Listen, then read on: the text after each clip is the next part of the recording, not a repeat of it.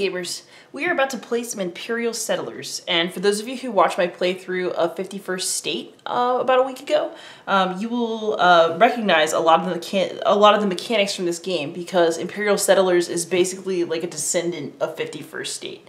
Um, it also comes with a solo mode that is pretty similar with some striking similarities, so striking differences that we're going to talk about. Um, I would actually say that the solo for Imperial Settlers is a tighter game.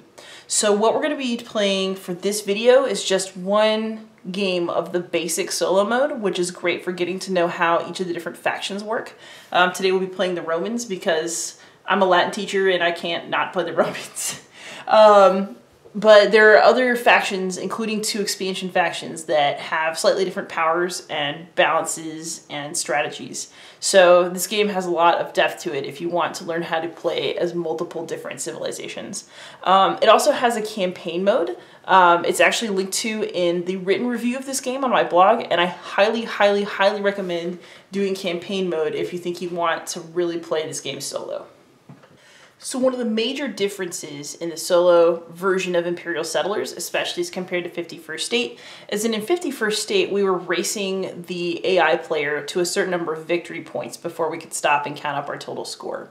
Um, in Imperial Settlers there are always five rounds, and basically our goal this time is to produce more faction locations in our tableau than the AI player has common locations that they acquire throughout the game. So just for reference, the, you are working with multiple decks in this game. So this is the common location deck. It's got a blue back.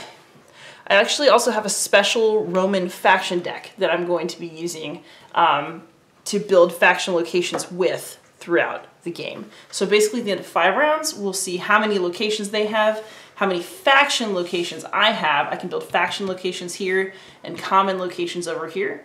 And if I have more of my faction's locations than they have locations total, then we'll win. Otherwise, we lose, regardless of how many victory points I have. So to start off the game, I'm going to get an opening hand of four cards. I can draw two cards off the common deck and two cards off of my faction deck. And as you can see, the um, faction cards and the common cards have slightly different features. So common cards can be razed for their goods, or they can be built as locations. So I pay to build, or I can use a sword aggression token to raze it and take these items. Faction locations don't have any raze value, but they do allow you to make a deal. So I can basically pay one food in this game to make a deal and produce a stone every turn from here on out if this is a location that I choose to make a deal with. Otherwise, I can just build it over here for its either production, feature, or action um, purposes. So that's my opening hand. We'll see how it goes. Oh, another notable thing, by the way, that you should see is that see how you have to pay to build and it has two stones and a little house? That stands for a common location. So I need to build common locations and then destroy them to create raw material basically for my faction locations. So let's play the first round of this game and see how I do. So I already have my opening hand, but now that it's the first round, I get to draw one more faction card. Nice. And then we're going to have a drafting phase that's a little bit like the one in 51st State. So we're going to pull four cards off the top of the common deck. And what's going to happen is that by the end of this, I'm going to get two and they're going to get two. But let's figure out which ones I want. Hmm.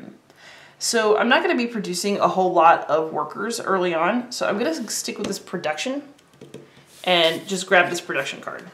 Now I'm going to shuffle these three up.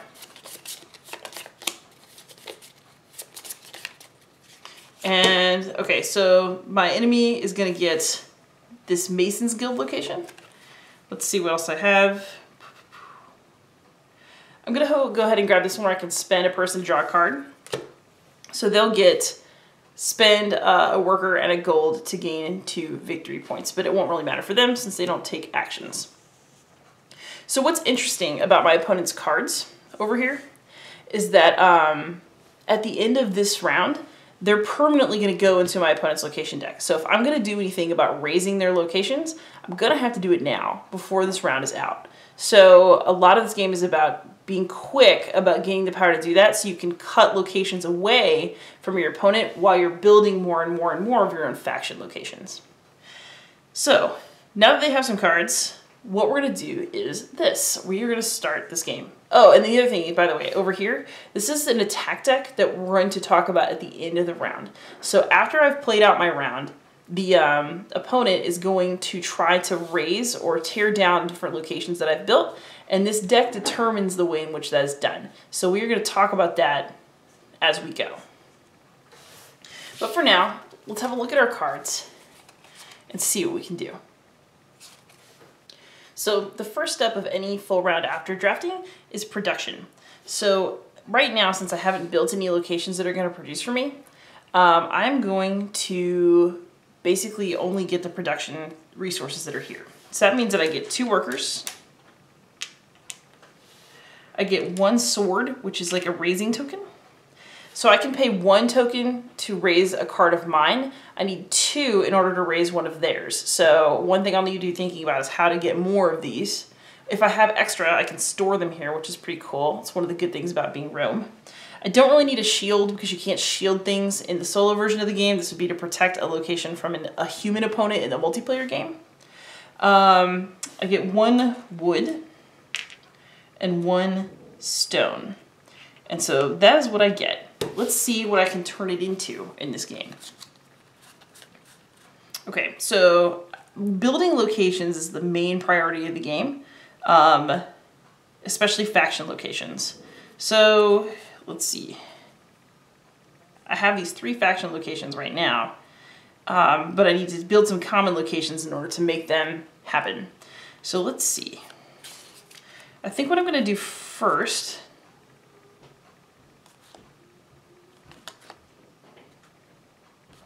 is I want to do something that's like a production location. That seems smart. So here's what I will do. I am going to pay, and let's just move these out of the way for a second. We'll put them here. Um, I'm going to pay one wood and one stone to build this quarry. So one of the cool things about building in this game is that you immediately get the production, what you would get if you were at the beginning of the round. And in this case, I'm gonna get a building bonus. So I'm gonna get two stones back for that. And that's good for me because that means that I can actually build off of the that card to do something else. So what I think I might like to do in this particular case, yeah, okay, so let's do this. What I want to do is I'm actually immediately going to destroy this location. Um, I am going to um, pay one stone and one card, so this will go in the discard, to build a gladiator school. So I will get an action and it's spend one worker to gain one aggression token. So I can give up one of these guys for a sword that I can use to mess with someone else, which is a pretty good deal if you ask me. So now let's think about what to do next. Um, I have this raze token, and now that I have a gladiator school, I can try to spend one worker to get another one and then take out one of the enemy locations. But I also want to work on getting my own locations out there because really the goal is to make sure that I have more over here than they have in their deck. And that's going to be what I really need to be focusing on is building. So let's see if there's anything I can do to build more stuff. Why, in fact, there is. This is what I'm going to do. I'm going to spend this raze token to raze this card. So I'm going to claim two wood from the raze value on that card. Ta-da! Two wood. Now I can spend those two, pay to build, this production card. And from that production, I'm going to get two more pieces of wood. Amazing. Then I'm actually going to be able to pay to build another location because I have a wood and a stone. So I'm gonna go ahead and do that. And then since I have these two workers left, you can spend two to gain any one resource. So I'm gonna go ahead and I'm gonna spend these two workers to get a food. And I'm going to use that food and probably this location, I think. Yeah, let's just go for that. So I'll spin the food and raze this location to build my Legion. And so what this means is that I'm producing one common card each turn from now on. So I'm going to draw one common card now, and then I actually get to draw another one as my building bonus. So my hand just got bigger again. And it's a good thing that I'm hoping to produce some wood next turn as long as they don't destroy it because check it out, I'm gonna need it to build some more stuff that can raze to make more faction locations. So I think that's really about all I can do for this turn. So what's gonna happen is I'm gonna get rid of this piece of wood because I can't store it, it doesn't do anything for me.